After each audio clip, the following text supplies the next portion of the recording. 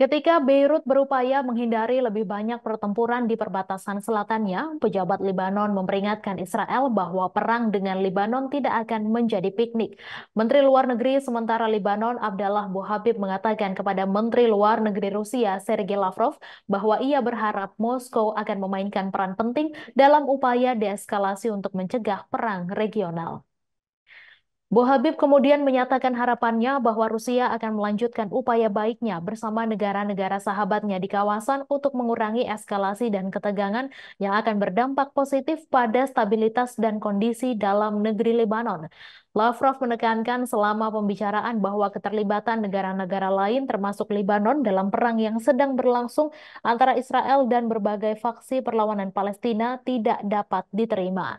Menteri Luar Negeri Rusia menambahkan bahwa perlu ada penerapan gencatan senjata segera di Gaza, mengingat sangat dibutuhkannya bantuan kemanusiaan untuk memasuki wilayah kantong tersebut.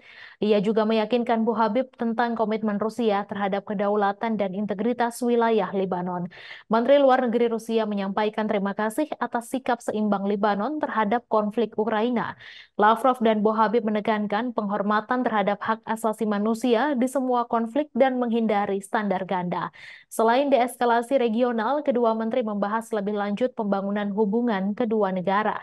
Bu Habib memberikan peringatan kepada Israel awal pekan ini setelah Israel mengancam akan memulai perang dengan mengatakan bahwa hal ini tidak akan menjadi sebuah piknik. Dalam pidato Bu Habib pada pertemuan tingkat Menteri Dewan Keamanan PBB, Menteri Luar Negeri Lebanon menyebut konflik yang sedang berlangsung di Asia Barat sebagai masalah sejarah. Download Tribun X sekarang. Menghadirkan lokal menjadi Indonesia.